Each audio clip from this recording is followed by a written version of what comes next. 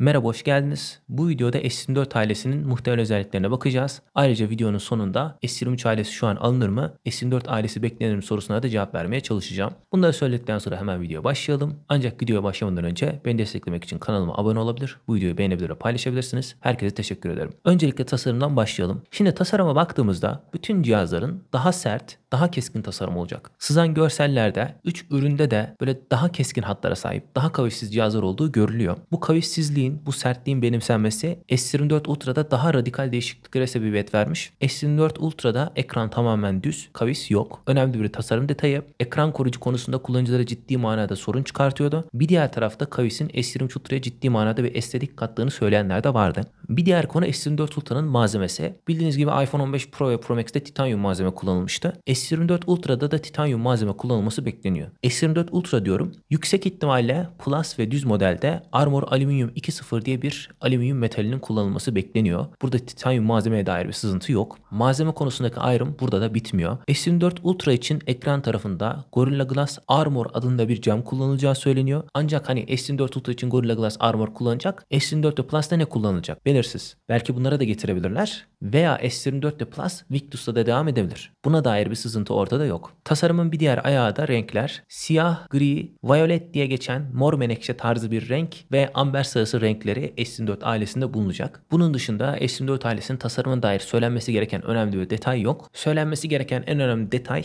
cihazların her noktasında daha kavişsiz, daha sert bir tasarım benimsenmiş. Telefonları şöyle elimize alıp inceleyince bu konunun daha iyi anlaşılacağını düşünüyorum. Şimdi bir sonraki konumuz ekran. Ekran tarafında en önemli gelişme S24 Ultra'nın kavisinin artık kalkması, ekranın tamamen düz olması. Bir de bütün S24 ailesinde çerçevelerin incelmesi. Şimdi çerçeveler inceliyor ama şu kadar ince olacak, şu kadar milimetre. Buna dair bir sızıntı ben göremedim. Bunların yanı sıra ekran boyutlarına ve çözünürlüklerine bakmak gerekirse. S24'ün ekranı 6.2 inçe çıkıyor. Full HD 120 Hz ekran devam ediyor. Burada bir çözünürlük artışı yok. 6.2 inçe çıktı diye cihazın büyümesini beklemeyelim. Dediğim gibi çerçeveler incelecek. S22 ve S23 ile hemen hemen aynı kasa boyutuna sahip bir ürün karşımızda olacaktır diye düşünüyorum. S24 Plus tarafında 6.7 inçlik bir ekran var. Ekran yine 0.1 inç büyüyor. Buradaki önemli detay şu. S24 Plus'ta 2K 100 Hz panel bulunacak. Biz burada S24 Ultra'ya baktığımızda onda da 2K 100 Hz panel bulunacak. Yani S23 Plus ile S23 Ultra arasındaki çözünürlük segmentasyonu S24 Plus ile S24 Ultra arasında yok. Plus Ultra'ya yaklaşmış desek yanlış olmaz. Bunun dışında bütün ekranlar bildiğiniz gibi S23 ailesinde 1750 nitte Samsung bu şekilde söylüyordu. S24 ailesinde cihaz ayırt etmeksizin bütün ekranlar 2600 nit olacak. Bunların gerçek hayat testleri yapılır. S24 ailesine karşı ne kadar parlak olduğu görülür. Bunun dışında ekran tarafında söylenmesi gereken bir detay yok. Dediğim gibi çerçeveler daha ince olacak. Arkaya düzgün bir görsel bulursam koyarım. Gorilla Glass Armor olabilir S24 Ultra'da. Diğerlerinde Victus devam edebilir. S24 Ultra'nın ekranında kavis olmayacak. Samsung artık kavis işini bitiriyor desek yanlış olmaz. Kimine göre iyi, kimine göre kötü.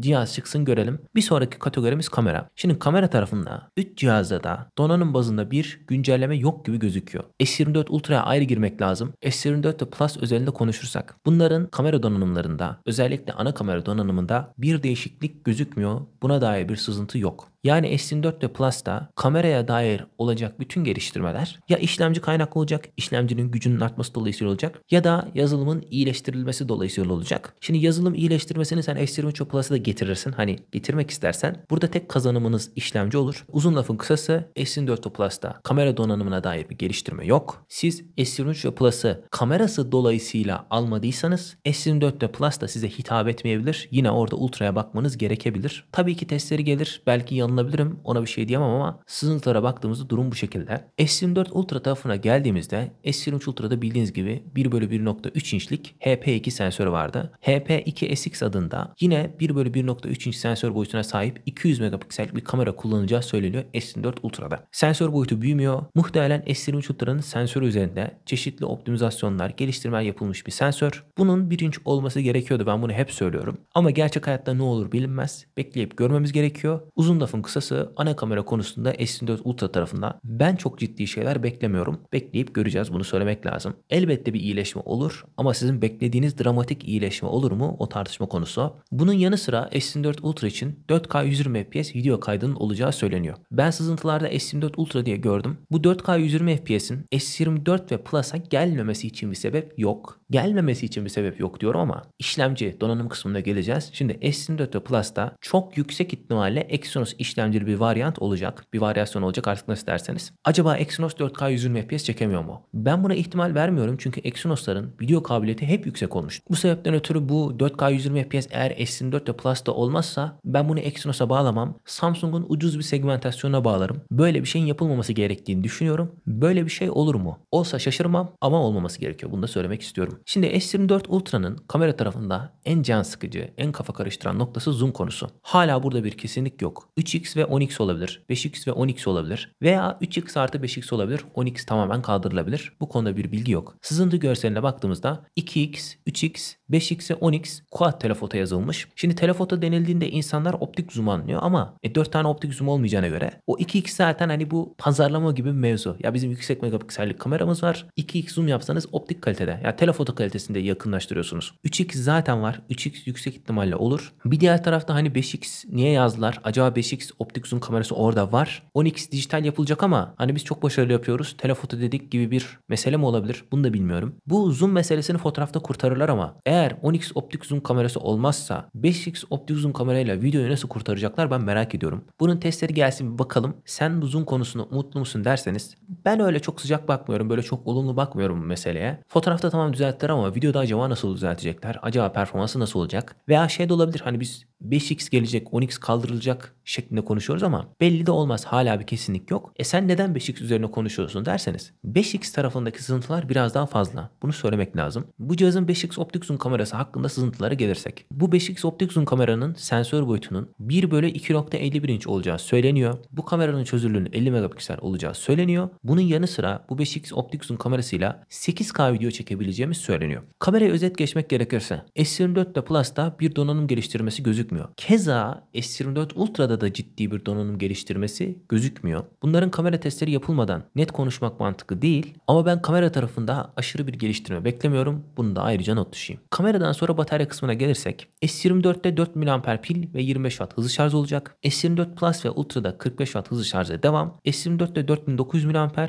S24 Ultra'da da 5000 mAh pil bulunması bekleniyor. Samsung yine hızlı şarj tarafında bir iyileştirmeye gitmemiş. Bunu söyleyebilirim. Şimdi pilden sonra donanım kısmına gelirsek S24'ün başlangıç modeline 8 GB RAM olacak. 128 ve 256 GB depolama seçenekleri sunulacak. S24 Plus tarafına geldiğimizde en düşük modelde 12 GB RAM bulunacak. 256 ve 512 GB depolama seçenekleri sunulacak. S24 Ultra tarafına geldiğimizde yine 12 GB RAM var başlangıç modelinde. 256 GB, 512 GB ve 1 TB depolama seçeneklerinin S24 Ultra'da olması bekleniyor. Net bir şekilde 2 TB depolama gelecek diye bir sızıntı ben görmedim. Şimdi donanım kısmının önemli tarafına geçersek. O Exynos mutlaka kullanılacak. %99.9 Exynos işlemcili bir S24'ü biz göreceğiz. Onu bir defa kabul edelim. Şimdi nasıl kullanılabilir? Sadece S24'te Exynos olabilir. Plus ve Ultra'da Snapdragon olabilir. Bir diğer tarafta S24 ve Plus'ta Exynos olabilir. S24 Ultra globalde bütün ülkelerde Snapdragon'la çıkış yapabilir. S24 Ultra'da %99.9 Snapdragon kullanılacak. Bütün dünyada Exynos gibi bir ihtimal yok. Türkiye'ye nasıl gelir derseniz şimdi arkadaşlar S22'de Snapdragon gelmişti ama o Snapdragon Samsung üretmişti. Evet tasarım Qualcomm ama üretimi Samsung'du. Türkiye'ye S24 ailesinde Snapdragon gelebilir. Ama ben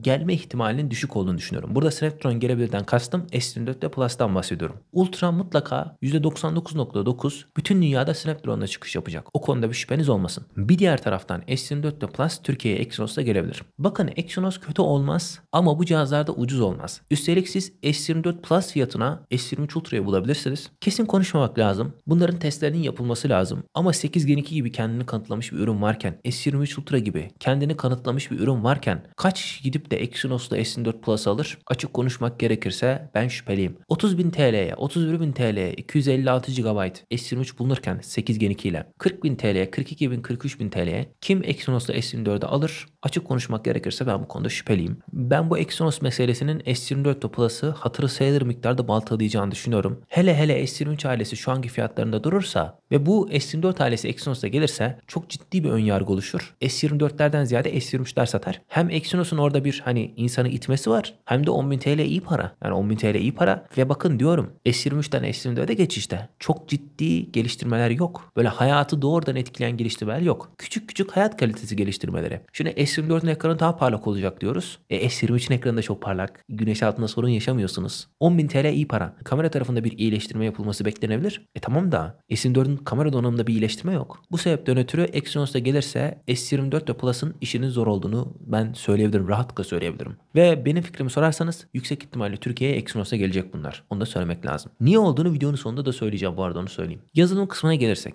Yazılım tarafında yapay zekaya dair birkaç tane geliştirme var. Bunun üzerinde konuşmaya gerek yok. Cihaz gelsin, resmileşsin ona göre konuşuruz. 4 tane Android 5 yıl güvenlik güncelleştirmesi sözü var bildiğiniz gibi S23'te, S22'de. S24'lerde de hani buna dair bu 5 yıla çıkacak. Pixel'de bildiğiniz gibi 7 seneye çıkmıştı. Yok 6 sene 7 sene olacak. Buna dair bir e, sızıntı, bir söylem yok. Şimdi fiyat konusuna gelirsek. S24 ve Plus'ın Euro bazında 50 Euro'luk bir indirim aldığı gözüküyor. Sızıntılarda böyle. S24 Ultra'nın da 50 Euro zamlandığı gözüküyor. Yüksek ihtimalle S24 Plus'ta Exynos kullanılması maliyeti düşürmüş. S23 Ultra'da Snapdragon kullanılması maliyeti arttırmış. Benim bu fiyat değişikliklerine dayanarak yürüttüğüm tahmin bu. Bu sebepten ötürü daha düşük fiyat belirleyebilmek için, maliyeti ayarlayabilmek için Türkiye'ye Exynos'lu S24 ve Plus'ın gelebileceğini düşünüyorum ben. Çünkü evet Samsung Türkiye'de yerel fiyatlandırma yapıyor ama tabii ki daha fazla kar etmek isteyeceklerdir. Bu sebepten ötürü Exynos'u getirerek oradan bir maliyet avantajı yakalamaya çalışabilirler. Bunu söylemek istiyorum. Benim S24 ve Plus'ın, benim S24 ve Plus'ın Türkiye'ye Exynos'la gelebilir dememin en önemli sebebi bu fiyat indirimi. Euro fiyatlarını bir kenara bırakalım. Bu ürünler Türkiye'de ne kadar olur? Fiyat tahminlerim neler? Şimdi S24'ün 128 GB'ı 40.000 TL olur. S24'ün 256'sı 43.000 45.000 TL civarında gezinir. S24 Plus'ın 256'sının 50.000 TL civarında olmasını bekliyorum. Plus'ın 512'si 55.000 56.000 hatta biraz daha pahalı olabilir. Bir diğer tarafta S24 Ultra'ya bakarsak ben S24 Ultra'nın Türkiye'de şu anki Fold 5 fiyatlarına yakın olacağını düşünüyorum. 256 GB'ı 69.999 TL, 512 GB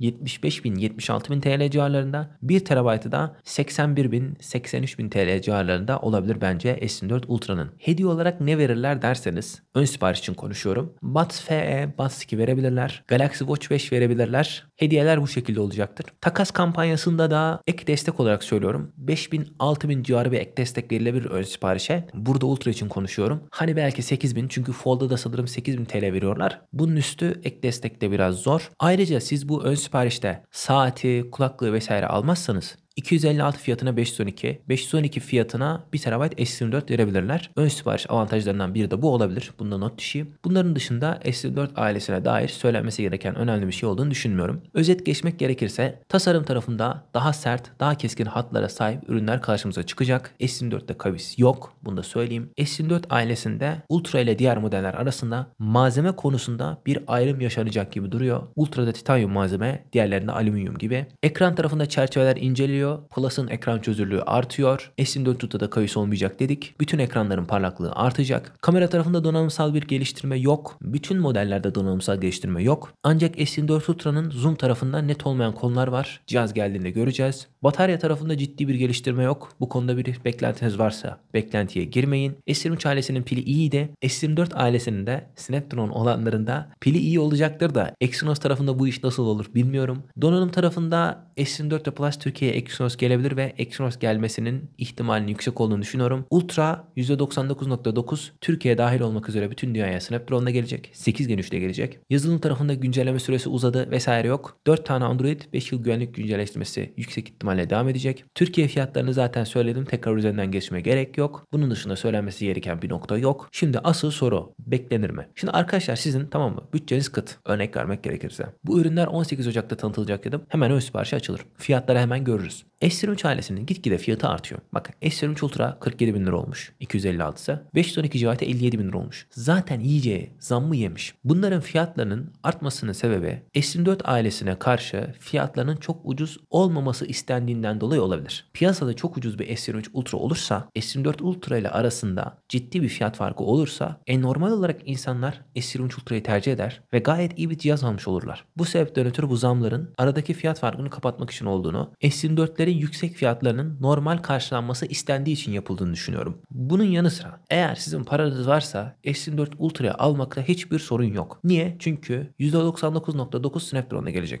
Düz model ve Plus'a gelirsek arkadaşlar bunlar Exynos'a gelebilir. Ben öyle Exynos'tan çok haz eden bir adam değilim. Ben Exynos'un iyi geleceğini düşünüyorum ama kalkıp da Vodoslama hadi gidin Exynos'ta S24 ve Plus'a alın demem. Bunların gelmesi, birkaç ay kullanılması, ciddi manada testlere sokulması gerekiyor. Eğer bu işlemci iyi olursa yine alınabilir. Muazzam harika geliştirmeler değil ama geliştirmeler var. İyi fiyat olursa, iyi kampanyalar yaparsa Samsung veya pazarda bu cihazların fiyatı iyi yerlere düşerse düşünülebilir. Ama soruya net cevap vermek gerekirse S24 ve Plus beklenir mi? Arkadaşlar ben de bunun bir cevabı yok. Şimdi Exynos gelirse Exynos'u görmek gerekiyor. Snapdragon gelirse bir sorun yok. Bu sebepten ötürü bu soruya benim için net cevap vermek maalesef zor. Şurada 18 gün kaldı. 18 gün kaldı bekleyin falan diyorum ama maalesef S23 ailesinin fiyatı gittikçe artıyor. Size bekleyin veya beklemeyin demek sorumluluk almak. Ben bu sorumluluğu almak istemiyorum. Sadece şunu söyleyebilirim. Siz alabileceğinizin en iyisini almak istiyorsanız, bütçeniz rahatsa tamam S24 ailesini bekleyin. Ama bütçeniz rahat değil ve iyi bir cihaz mı almak istiyorsunuz? S23 ailesi hala değerlendirilebilir. Yalnız yine ben bunu söyleyemiyorum çünkü şurada yani 17 gün kaldı. 17 gün beklenir gibi geliyor bana. Bunu birkaç ay önce sorsaydınız yani sen S23'ün 256'sını 27'ye 28'e alabiliyor olsaydın tamam derdin de şimdi 31-32 bin TL oldu. Artık işin gazı kaçtı. Beklenebilir. Bir cihazlar görülebilir. Belki Exynos çok iyi çıkacak. Belki çok ciddi kampanyalar yapacaklar. Hiç belli olmaz. Bu sebepten ötürü karar vermek size kalmış. Bunları söyledikten sonra videonun sonuna geldik. Beni izlediğiniz için teşekkür ederim. Beni desteklemek için kanalıma abone olabilir. Bu videoyu beğenebilir ve paylaşabilirsiniz. Bir sonraki videolarda canlı yayınlarda ve shortslarda görüşmek üzere. Hoşçakalın.